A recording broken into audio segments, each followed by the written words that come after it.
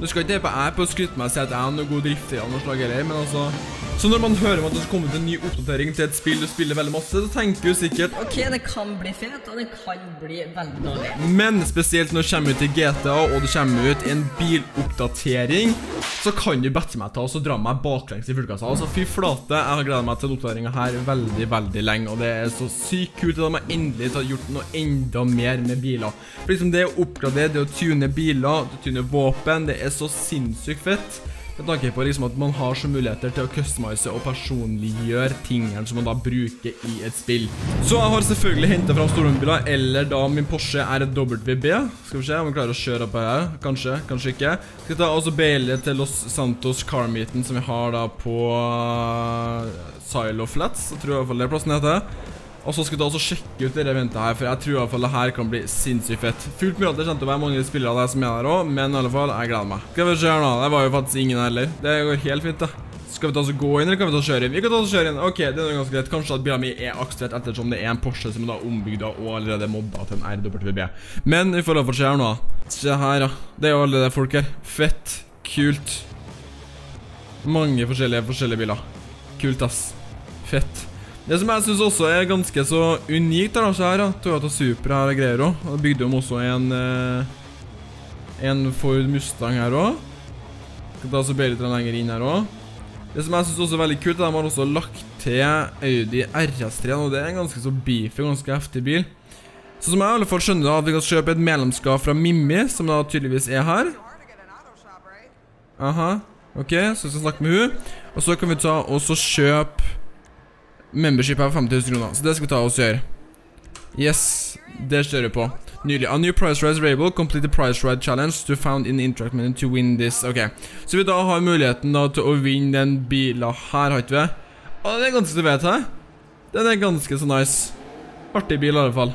Så men det er jo ikke bare det vi også har muligheten til. De her tre bilene her har vi også muligheten til å da kjøre og teste ut. Og jeg tenker at vi tester ut uh, Skal vi se, det her er jo Porsche Cayman. Teste den her, da. Kan ta og så enter og låne her nå på testtracken. Skal vi i alle fall se, da. På hvordan det her blir. Kult. Stilig. Jeg synes det er veldig artig at jeg har fått mulighet til å teste ut bilene nå, som jeg er. Og se på hvordan jeg virkelig sitter på testtracken nå. Kanskje skal ta med den andre Porschene som vi har òg. Virker som jeg er veldig veldig glad i Porsche, egentlig, det spillet her, men altså Jeg er jo stor fan av Mustang, liksom amerikanske muskelbiler. Det er jo det som jeg liker. Ah, så jeg digger jo den viewfinderen her, da. Altså, det er skikkelig høy viewfinder. Uh, nice. Fett. Nå skal ikke jeg på jeg på skryte meg og si at jeg har noe god drifter i andre slag heller, men altså Det er kult at du har på en et svært testtrack her, da. Skal vi se interiøret også. Ja, ja, den er jo det du kan få ta som venta. Kanskje det var mulig til å bli litt bedre, i alle fall. Ja, nå spiller jeg på touchbacken også. Ok, nice. Gustav.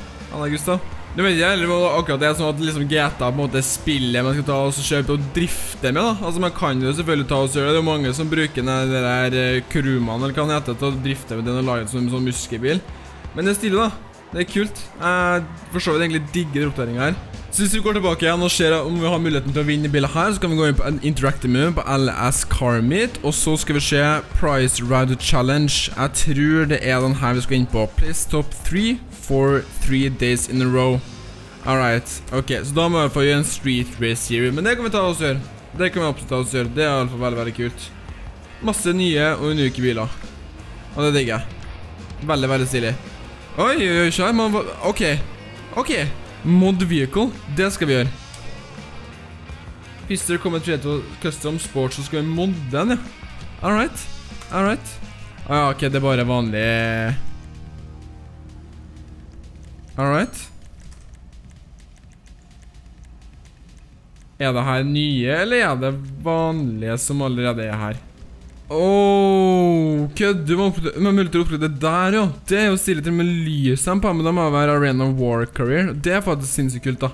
Jeg har den hvite, så heter jeg Exanon, som er enda mer lysere, ikke 20 000 flam, som er kritthvit, det skjer ikke. Neon Colors, ja, det er på en måte det vanlige. Altså, det kommer jo selvfølgelig ikke som noe sjokk, da. At vi har selvfølgelig den gamle Masta MX-7-en her også. Fett. Hva skal jeg ta? Jeg tror jeg kjører på med RS-3, ass. Jeg tror jeg kjører på med RS-3. Kjører på med crewfarger, shadowboxing, confirm, continue. All right, ready to play. Så en ting som er litt skremt på, da, det er at vi har jo den der hosten for det street racet her, er jo level 700. Og er jeg level 700? Nei. Har han kommet legit til level 700? Tror ikke det i det hele tatt. Men i alle fall se. Vi får se på hvordan det her går, om han jukser eller om han ikke jukser i det hele tatt. Lurer på om du har noen 90 og noe slager òg, men ja, vi får se. Vi får se. OK, let's go. Tre, to, én. Det her er jo legit. Det her er jo Fast and Furious Styles uten like. Får vi se, han går jo ekstremt mye fortere enn meg òg. Jeg er jo bare en liten pjusk i forhold. Som jeg kommer til å ta på den her, det er fullt med der, ass. Tar den innpå her på nummer to, da, men den første kisen her starta den ganske bra. Skal vi se, da kommer vi til å velge enten dit eller dit. All right. Let's go, let's go. Jeg tror ikke vi har en sjanse til å komme inn på den siste, ass, mindre han ikke tar det helt med ro her. Han har fått en veldig, veldig bra forsang. Det skal nå sies. Ok, let's go. Let's go, let's go. Altså, hva for en sjuking har det der forspranget der, da? Ja, da tok noe igjen og sikret den der siste kisten, da. Han var jo han var ikke med helt tatt, han tror jeg bare har feilet. Men jeg har ikke en sjans å ta den siste, ass. Det må være han som er level Ja. Level 690, han, vet. Level 690. Han fløy jo av gårde, han. Så hvor mange løp står det? Hvor mange løp? Jeg orker ikke gjøre 20 løp, sånn. Han har vært fin, liksom. 4 av 20. Glem det.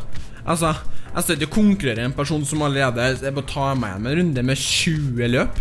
Han var jo allerede nesten en Hva skal jeg si? Han var jo allerede en hel runde før jeg starta å kjøre bil, liksom. Glem det. Kommer ikke til å begynne å kjøre 20 løp mot en person som har en runde morsom med meg. Det er jo bare idiotisk. Da vet du allerede tapt. Du kan, du, du, du, du kan ikke ha mentaliteten du vinner det. Det går jo ikke. Så hvis vi går inn her da på, mobilen, og så går vi inn på Skal vi se her nå Hvis vi går inn på Money Services, og så går vi på Foreclosures Maze Bank, og så har vi muligheten også til å kjøpe en ny, Hva heter det? En ny um, nå står det stilt der. Autoshop heter det. Det som har vært midt i blinken for min del, har jo egentlig vært den her. Rett og slett for at den er nærme alle mine businesser som er da rundt området her nå. Um, så i så fall jeg skal ta og kjøpe Burton, da, som jeg tenker å ta og kjøre en gang i En gang i livet, skulle du si. Så wow, wow, wow. Virkelig, det her er noe jeg bør og vil ha. Så jeg tenker at vi har masse forskjellige stiler her. Concrete Chick, vi har Nostalgia Trip, vi har all 68, alright. Ikke Ok, det kan være Jeg kan ikke si 66. Wildstyle og Race and Chase. Jeg tenker at det feteste for min del er enten Flawless eller Polished. Jeg tror Polished er faktisk det feteste. Absolutt. Uten tvil at det her er det feteste. Tint, da. Skal vi se om man har fått seg sånn her, ja. Jeg tenker at Hvis du har alt sammen svart, da det kunne vært kult å i ha den her i blå. Så har du muligheten til å ha litt stormfarger på det Det tror jeg er kult. Emblem.